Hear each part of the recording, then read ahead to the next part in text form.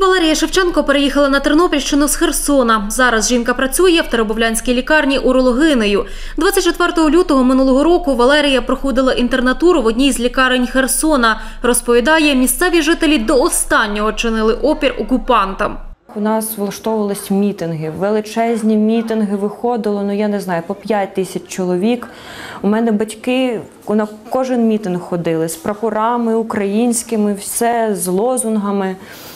І спочатку вони більш-менш проходили мирно, а потім вже почали розганяти сльозоточивим газом, потім світло-шумовими гранатами, потім вже почали стріляти по ногах. Незважаючи на окупацію, яка розпочалася 5 березня, Валерія продовжувала працювати в рідному місті. Жінки, дівчата, молоді, всі ходили по вулиці, не нафарбовані, в чорній, в чорній одежі, в капюшонах. Там боїшся подивитися направо, наліво, щось не так десь скажеш чи ще щось. А якщо почують українську мову, то взагалі ну, тебе можуть чи побити, чи забрати в катівню. Я зрозуміла, що, що треба їхати і щось робити далі. З Херсона Валерія Шевченко виїхала разом зі знайомими. Батьки ж весь цей час залишалися в окупації. Каже, коли дізналася, що місто звільнили, не могла повірити. По-перше, сльози на очах. По-друге, це радість така, ну я, я не знаю. Мені здавалося, що я такі, такої радості ще не відчувала ніколи. Софія Тарасова, педіатриня з Запоріжжя. З рідного міста жінка виїхала разом з чотирирічною донькою на початку війни. Спочатку, розповідає, жили за кордоном, але згодом вирішили повернутися до України. Оскільки Софія виховує дочку сама, то обирала місто, де є не лише вакансія педіатра, а й можливість залишати дитину в садку. Про початок війни лікарка згадує так. В той четвер ми прокинулись, це був мій вихідний вже перед е, відпусткою.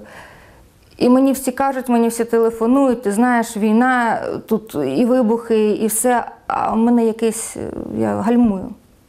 Я, я не вірила. Коли ми виїхали навіть з дитиною, я не вірила. Я думала, що за період моєї відпустки я повернуся. Але йшов березень, йшов квітень, початок травня.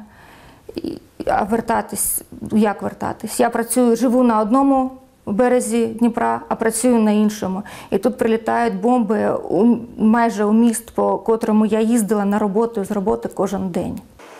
Також з травня в лікарні працює хірург Роман Лісовий. Чоловік родом з селища Білокуракине Луганської області. Розповідає, російські війська зайшли в населений пункт 5 березня. На той час Роман працював хірургом у місцевій лікарні. В окупації, каже, пробув місяць.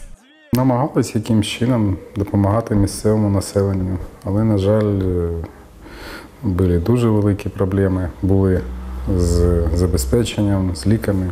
Залишатися в Білокуракиному Роман не хотів. Вирішив, що я там не буду залишатися з початку війни. Я для себе вирішив. Для мене, так щоб було зрозуміло, в пріоритеті є діти. Ну а по-друге, для себе я вирішив, я ні в якому разі не буду співпрацювати з окупаційною владою. З початку повномасштабної війни в Теребовлянській лікарні працевлаштували 20 лікарів-переселенців, розповідає директор медзакладу Михайло Некеруй. На даний момент е, в закладі працює 17 осіб. Це лікарі і е, медсестри різних спеціальностей. Є і хірурги, є акушер-гінекологи, є урологи, є лорі. Богдана Савицька, Василь Панчук, Суспільне новини, Тернопільщина.